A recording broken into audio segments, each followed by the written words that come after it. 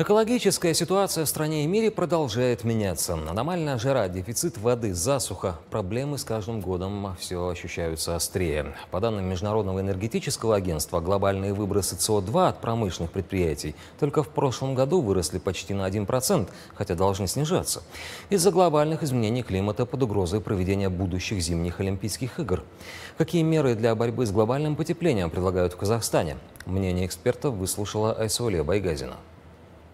То, что стало в мире жарко, заметили во многих странах, включая Казахстан. Так, средняя глобальная температура в прошлом месяце, предположительно, стала самой высокой за последние 120 тысяч лет. Причина тому – рост концентрации парниковых газов в атмосфере, пишет служба новостей ООН. Изменение климата бьет и по водным ресурсам. Согласно отчету ООН, более 5 миллиардов человек в мире могут столкнуться с нехваткой питьевой воды. Что касается краткосрочных прогнозов, то в этом месяце ожидается сильная засуха в ряде районов Костанайска, Уральской, Актюбинской и Козлординской областей, прогнозирует Казгидромет. Чтобы решить проблемы, связанные с температурными изменениями, отечественные эксперты предлагают делать упор на расширение партнерства с зарубежными специалистами.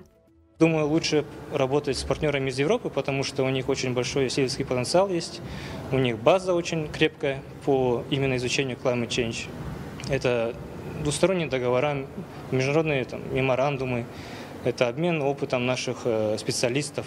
Что касается возобновляемых источников энергии, то их доля от общего энергобаланса Казахстана в 2022 составила чуть ниже 5%. За год прирост составил почти 2%. Наибольший объем электроэнергии в стране вырабатывают ветровые электростанции, пишет аналитический портал EnergyProm. Делать ставку на ВИА, которые могли бы стать для республики не только доминирующими источниками энергии, но и важной статью экспорта, ранее предложили аналитики Всемирного банка. Как уверяет региональный директор организации по Центральной Азии Татьяна Проскурякова, Казахстан создал солидную базу для решения проблемы изменения климата. Однако стране нужно ставить перед собой гораздо более амбициозные экономические задачи и осуществлять конкретные меры по смягчению последствий изменения климата и адаптации к ним. Хорошо проработанные программы в водном и сельском хозяйстве, а также в сфере декарбонизации энергетического сектора могут послужить основой для расширения экономической базы. Газ, он, он все равно когда-нибудь закончится. То есть у нас есть запасы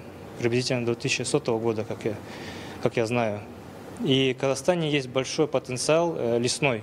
То есть мы можем вырабатывать там, древесные гранулы, и зольность их составляет всего 5-7%, если связывать ее с, с углем.